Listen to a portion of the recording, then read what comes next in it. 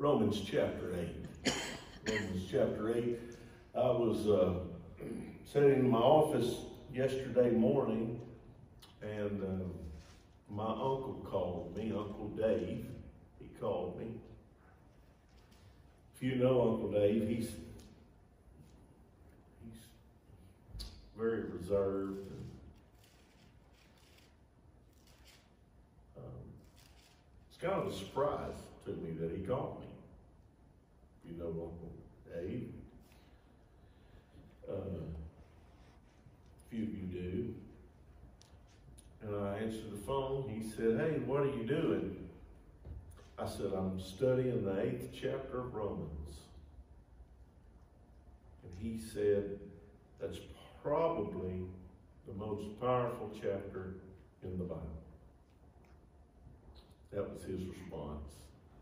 My dad loved the eighth chapter of Romans, so tonight I'm going to take you on the journey through that.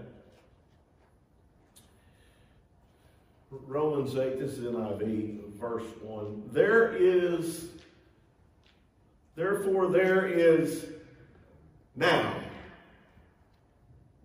Everybody say now.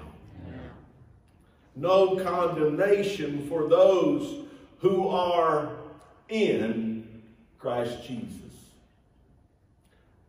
There is no guilty verdict or no punishment for those who are in Christ. You might want to know that. The power of that statement. In Him. If I were going to title this, and I will for online purposes, in Him. In Him. That's what has been going over in my mind. Verse 2 says, Because through Christ Jesus, the law of the Spirit who gives life. The law of the Spirit gives life. Set me free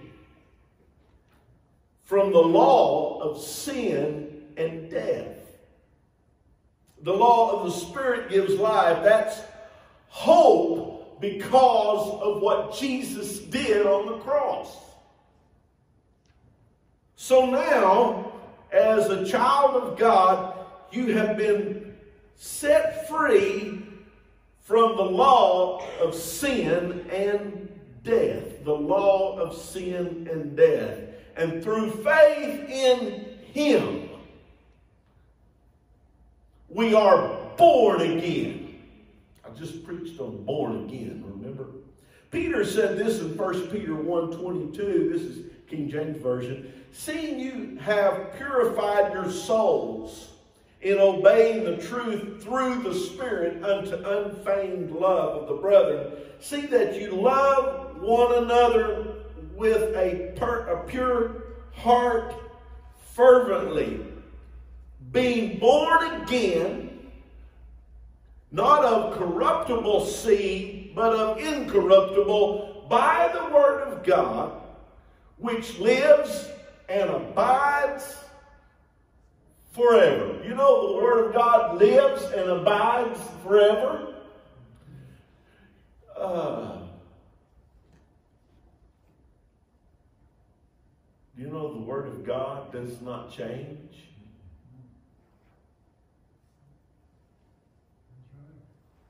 Do you know the Word of God is, will stand through eternity? being born again, not of corruptible seed, but of incorruptible by the word which lives and abides forever. So, how do you know? What is the evidence that you are a child of God? How do you know that you're a child of God? What's the evidence? What is the evidence? If you could point out one thing, and you could tell me if you have this, you are a child of God. What would that one thing be. To be a child of God, you must have the love of God.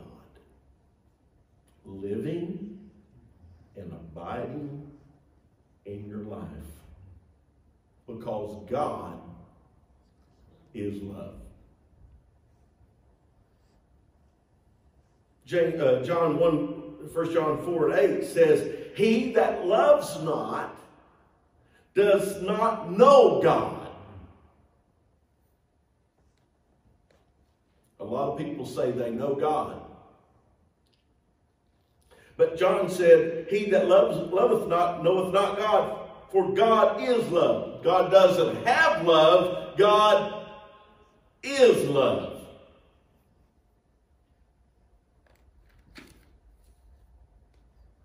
I wonder about people who say they love God, but they do not want to be associated with what God's Word says.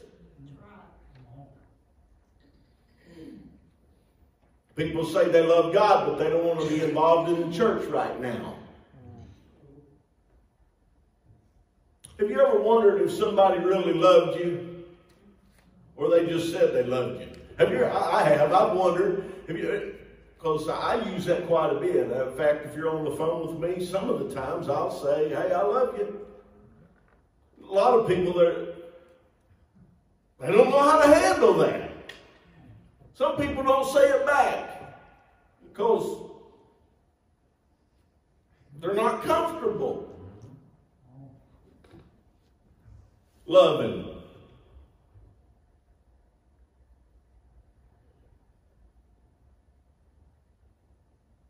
Did you know when our kids get sick, we're more apt to pray for them fervently compared to somebody else's kids? You, you ever notice that?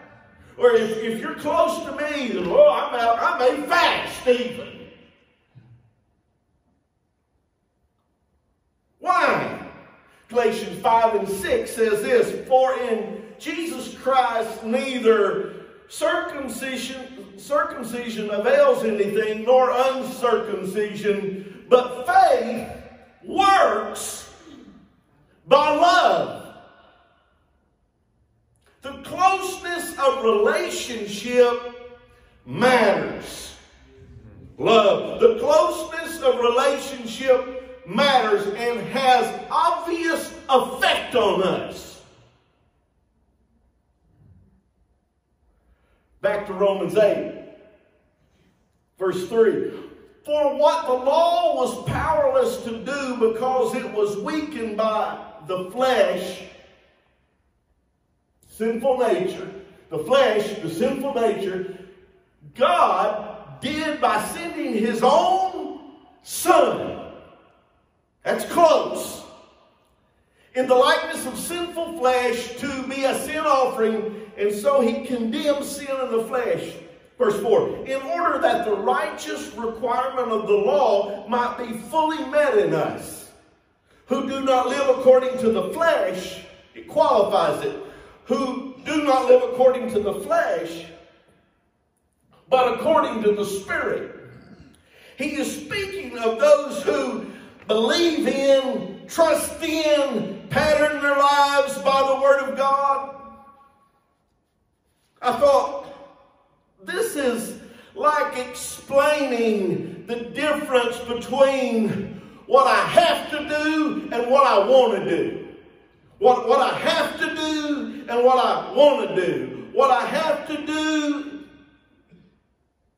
is how the flesh sees the scriptures.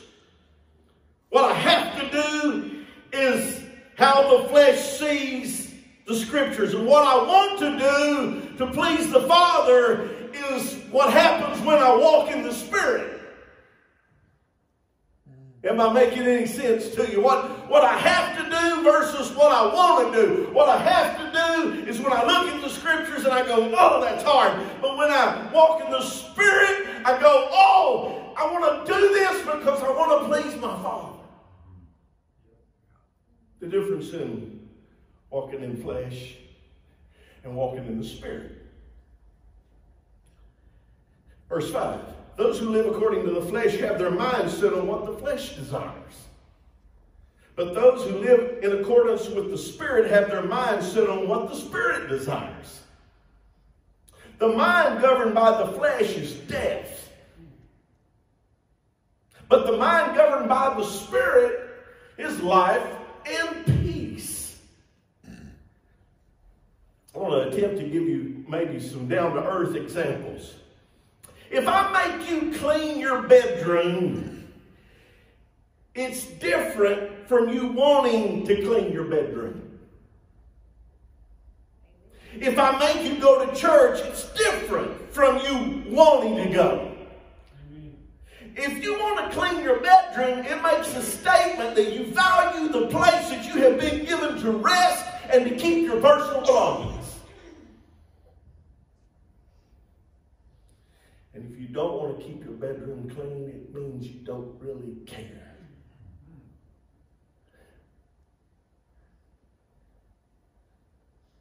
John, verse, John 5, verse 1, New International Version, NIV, 1 John 5, 1. Everyone who believes that Jesus is the Christ is born of God, and everyone who loves the Father loves his child as well. This is how we know that we love the children of God by loving God and carrying out his commands.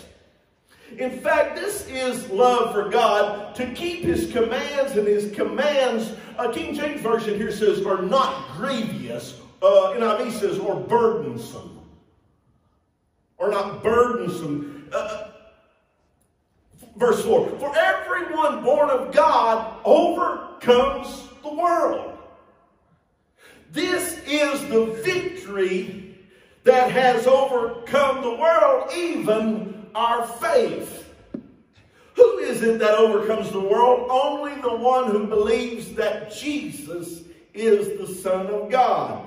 The commandments of the Lord are not grievous to his children.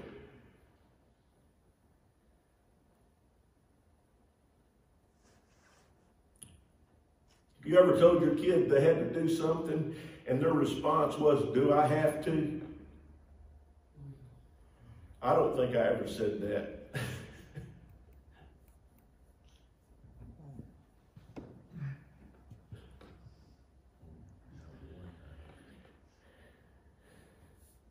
Did your folks ever make you go to school and you didn't want to? Every day. but now, Listen, but now you wish you would have made yourself listen. Because life would have been a whole lot better if you would have listened and paid more attention in class. Amen? But the flesh wanted to play ball. My flesh wanted to shoot basketball every day. My flesh. But the spirit my dad was trying to get into me was that one day you're going to need a job and I don't want you working on the railroad. I want to work on the railroad. He said, I don't want you on the railroad. I want you to go to school and I want you to get an education. Because I don't want you beating that metal with a hammer and under a welding hood. Romans 8 and 7. NIV. The mind governed by the flesh is hostile to God. It does not submit to God's law, nor can it do so. The mind governed by the flesh is hostile to God. It does not submit to God's law, nor can it do. But those who are in the realm of the flesh can please God. You, however, are not in the realm of the flesh, but you're in the realm of the Spirit, if indeed the Spirit of God lives in you. And if anyone does not have the Spirit of Christ, they do not belong to Christ. Jesus himself had to pray himself into submission. Matthew 26, 39. New King James says, He went a little further, fell on his face, and prayed, Oh, my Father, if it is possible, let this cup pass from me. Nevertheless, not as I will, but as you will. Then he came to his disciples and found them sleeping. He said to Peter, Peter, what, what could, could you not watch with me one hour? What's Peter? Peter's been subdued by what? The flesh. Jesus is praying in the spirit. He still has to pray beyond how he feels. Verse 20, verse 41, watch and pray lest you enter into temptation. Be, be, be careful. The spirit is willing, but the flesh is weak. If Jesus had to pray this, you better pay a close attention. There's some things you're going to have to pray for, through, and you're going to have to earnestly contend for it. Yeah.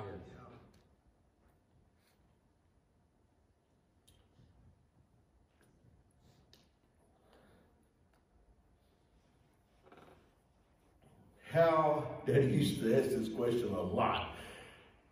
How do you make a man love his wife? In fact, what he would say was, you can't make a man love his wife. He would say, son, he either loves her or he doesn't. Do you know how many people I have tried to get to live for the Lord over the last now 25 years? And I have failed at trying to make people live for the Lord. I have failed at trying to convince people as a whole. Look around. Because you either love God or you don't. And I can't make you love Him. I can paint you the picture, I can preach you the word, but you're going to have to have your own love story. The truth is, people don't see the value in the love of God.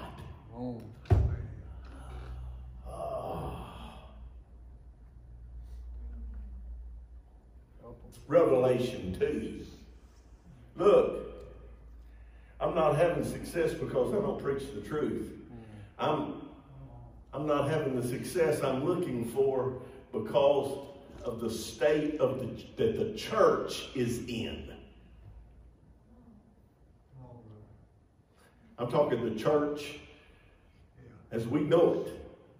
Church world as we know it. Revelation 2, 1, New King James says, To the angel of the church of Ephesus, right. Now this is several thousand years ago now. Okay? So you don't think this just happened here over the last two months. Okay? Because this is several thousand years ago, and he says, To the church of Ephesus, write this. These things says he who holds the seven stars in his right hand, who walks in the midst of the seven golden lampstands. I know your works, your labor, your patience, that you cannot bear those who are evil, that you've tested those that say they're apostles and are not. You found them liars, and you have persevered. You've had patience and have labored for my name's sake, and have not become weary. Nevertheless, I have this against you. You have left your first love.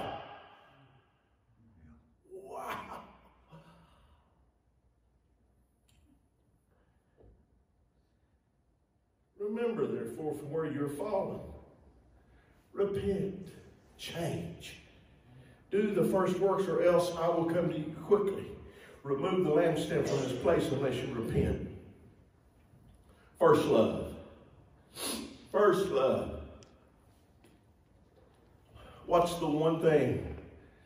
Look at me here. What's the one thing you've got to have to be a child of God? Love. You got to have love. Love. You got to have this.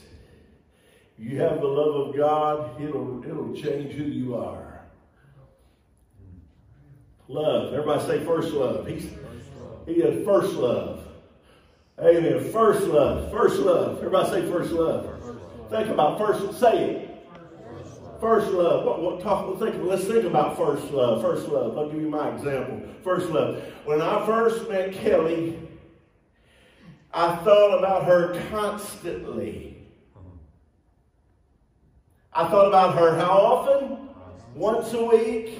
When I didn't have anything else to do, I thought about her constantly. He's warning them about this first love issue. He, uh, I would work all day. I would get off work and I would drive to Conway and we'd sit up till midnight or one o'clock and I'd leave. I'd drive back to Sheridan and I would get up, I'd go to work, I'd go back to Conway. I'd sit up till mid, there midnight, one o'clock, and I'd drive home. I'd get up and go to work, I'd go back to Conway. After about three or four days of that, I would say, I'm not coming back tomorrow night. But five o'clock would roll around, I'd go back to Conway. What are you talking about? I'm talking about first love. Come on. And people have lost it. Oh, man. And he says, because you lost it, unless you change, I'm coming to you.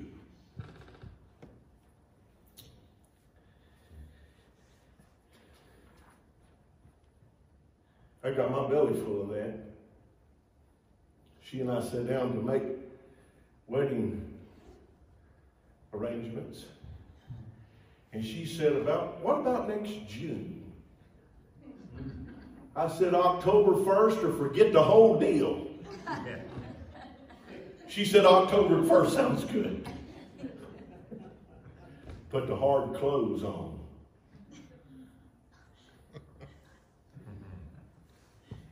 Eight and ten, Romans eight and ten. But if Christ is in you, even though your body is subject to death because of sin, the Spirit gives life because of righteousness. And if the Spirit of Him who raised Jesus from the dead is living in you, He who raised Christ from the dead will also give life to your mortal body because of His Spirit who lives in you. Therefore, brothers and sisters, we have an obligation, but it is not to the flesh to live according to it. For if you live according to the flesh, you will die. But if you live by the Spirit, you put to death the misdeeds of the body, you will live. I want to serve God. I have gotten this more over the last two weeks when I stand before God, I want to stand there, but and He will know the motives of my heart, that they have not always been pure. But when I stand before Him, I want Him to know my motives have been in the Spirit, and they've been I've been living by the Word because I want to please Him. Because I love Him. Otherwise, I die. 14. For those who are led by the Spirit of God, they're the children of God.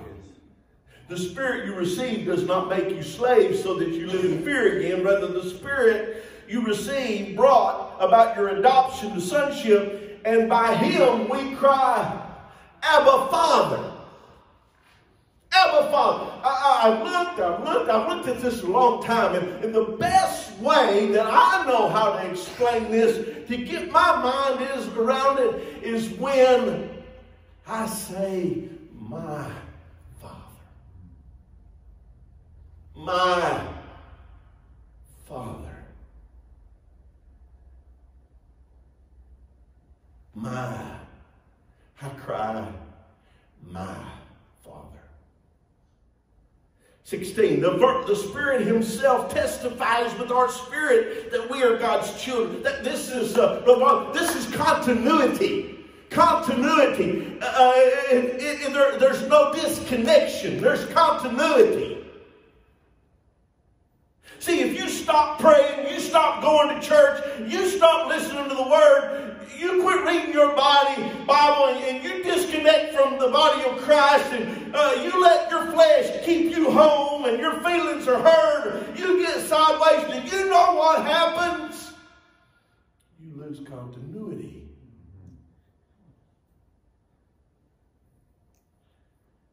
I know, I know about that. I got hurt, and I said, I don't want to. I don't want to be around church people for six months. I said that to my own self. I don't want to. And you know what happened? After two weeks, my kids started crying. Love factor. Love factor. So why does daddy not want to go to church no more?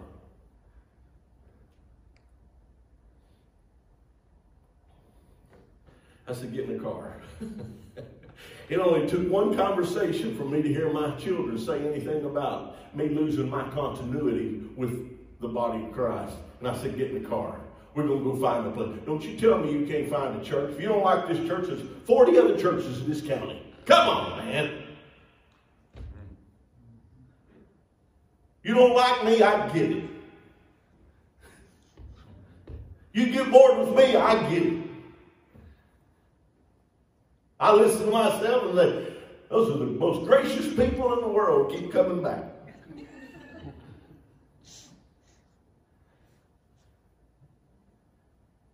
It's a love factor. Amen.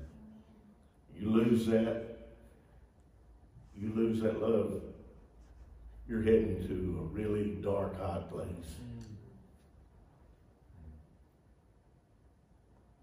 He's going to remove your candlestick. That's I. Romans 8, the first verse, starts out with 17. Uh, verse 17. Now, if we are children, then we are heirs.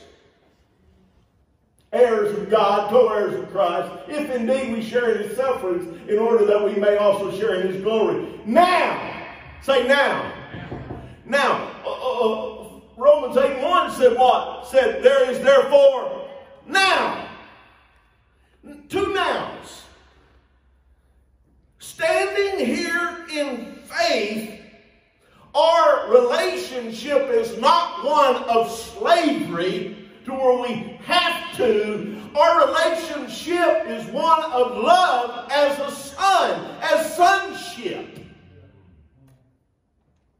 Slaves are ordered what they have to do and they do it. But the son, he, by love, wants to please the father. The slave is property, but the son, he come out of the father. The son is part of the father. The slave fears the whip the Son knows if he asks, the Father will forgive him. Luke 15, 17, New King James says, But when he came to himself, he said, How many of my father's hired servants have brought enough to eat and to spare? I'll perish with hunger. I will arise and go to my father. I will say, Father, I've sinned against heaven before you. I'm no longer worthy to be your son. Make me one of your hired servants. He arose, came to his father. When he was a, still a great way off, his father saw him, had compassion, ran, fell on his neck, kissed him. And the son said to the father, I have sinned against heaven in your sight. I'm no longer worthy to be called your son. But the father said, Bring out the best robes and put it on him Put a ring on his hand, sandals on his feet. Bring the fatted calf and kill it. Let's eat and be merry. For my son was dead, is alive again. He was lost and is found, and they began to be merry. If you mess up, don't get down. You're not a slave. You're a son. Get up and get back to the Father's house. Hmm?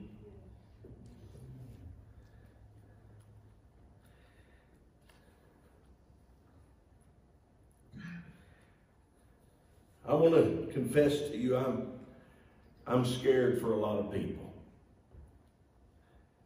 I'm scared for people that don't even seem to be concerned why I'm scared. I'm not even the one doing what they're doing.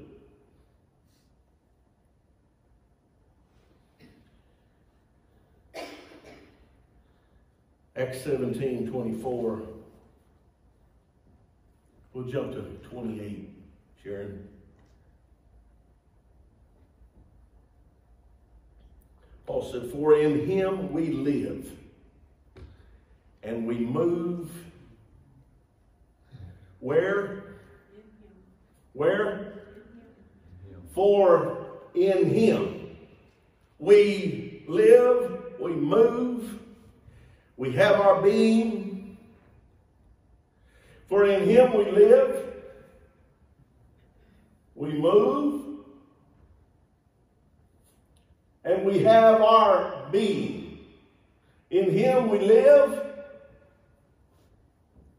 Everything we do, we move, everywhere we go, and we have our being. That's how we're known. We are sprung off of him. Everybody ever heard that saying? You're a chip off the old block. You ever heard that? You ever heard the apple doesn't fall too far from the tree?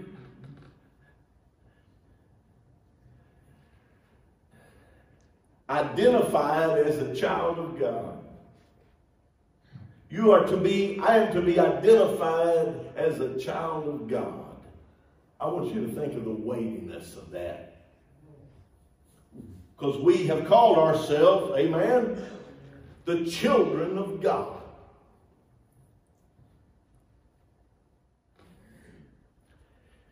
We are his offspring. Therefore, since we are God's offspring, we should not think that the divine being is like gold or silver or stone, an image made to human design and skill. In the past, God overlooked such ignorance. But now he commands all people everywhere to repent. For he has set a day when he will judge the world with justice by the man he has appointed, and he has given proof of this to everyone by raising him from the dead. In him, Jesus has come that we might have life and that we might have life as his son.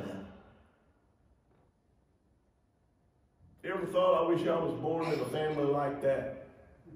You ever thought, you ever thought, I wish I, I wish I'd have had this? You ever thought that? Well, let me ask you another question. Do you know who you are? Yes. Do you, do you not realize the family that you're born in? For the believer in Jesus Christ, the one trust, who trusts in Him, who loves like Him, He's an heir of all things.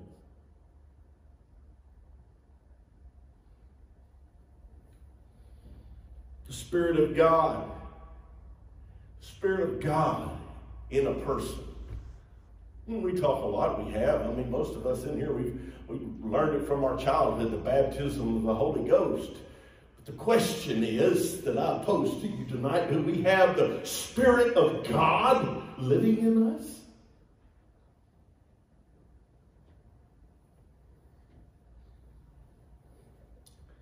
The Spirit of God.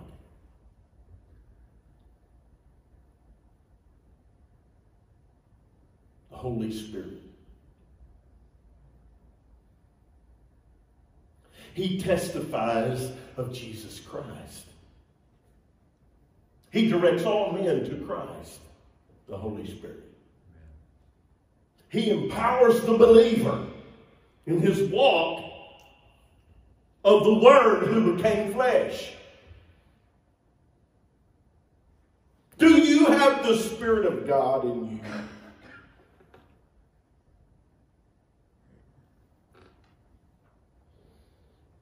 That's a big question, isn't it?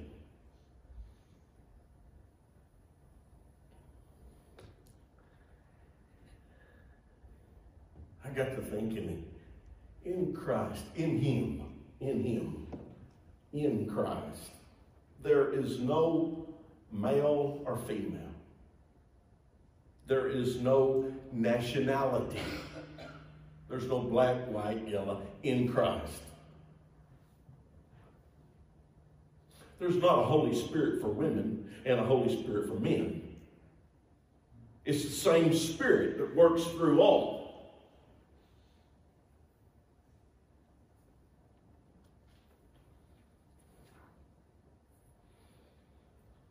Let's go back. Let's do this Romans 8 and 3 and do New King James. For what the law could not do in that it was weak through the flesh, God sent his own Son in the likeness of sinful flesh on the account of sin. He condemned sin in the flesh that the righteous requirement of the law might be fulfilled in us who do not walk according to the flesh, but according to the Spirit. For those who live according to the flesh set their minds on the things of the flesh, but those who live according to the Spirit, the things of the Spirit.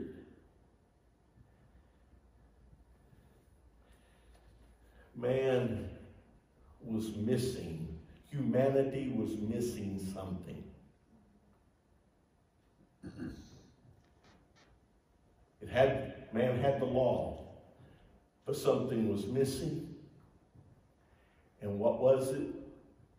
It was the love factor.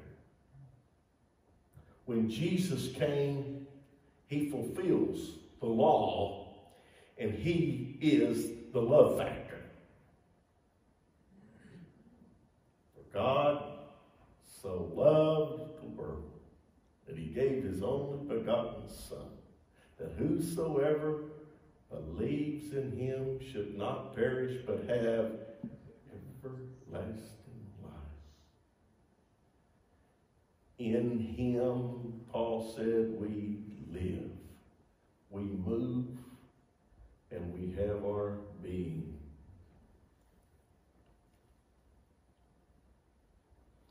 I'll close in with this.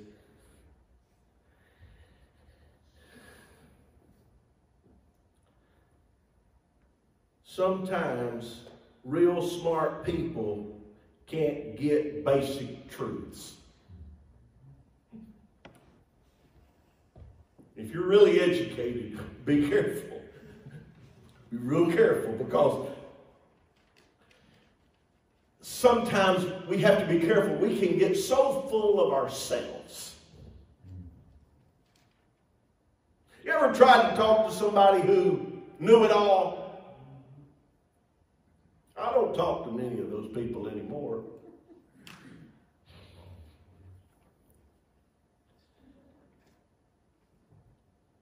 Nicodemus, the teacher of Israel, comes to Jesus at night, and he's not even on the same page with Jesus.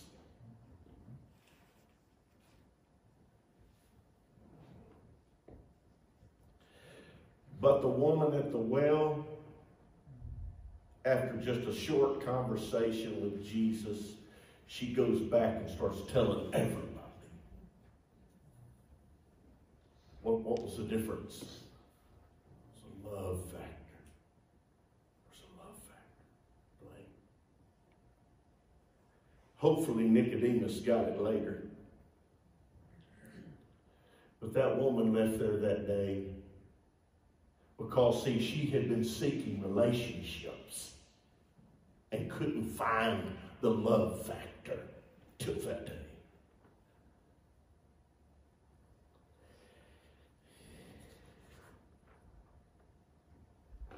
I'll close with this Philippians 3 and 8. Yet indeed, I also count all things loss. I count all things, is that what it says?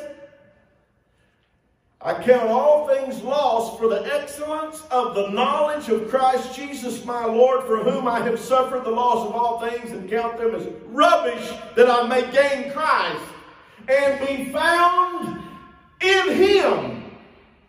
Not having my own righteousness, which is of the law, but that is which through faith in Christ, that righteousness which is from faith, from God by faith, that I may know him, that I may know him, and the power of his resurrection, and the fellowship of his suffering, being conformed to his death. If by any means I might attain to the resurrection from the dead. Stand, please. Father, we love you tonight. I pray, Lord, as we look into your word, we see, we see the power. We see the privilege. Oh, we're so privileged. We've been so privileged God, thank you for this privilege. Yes. That we, we can stand here tonight as children of God, as sons, not as slaves. And through faith, we might be found in you.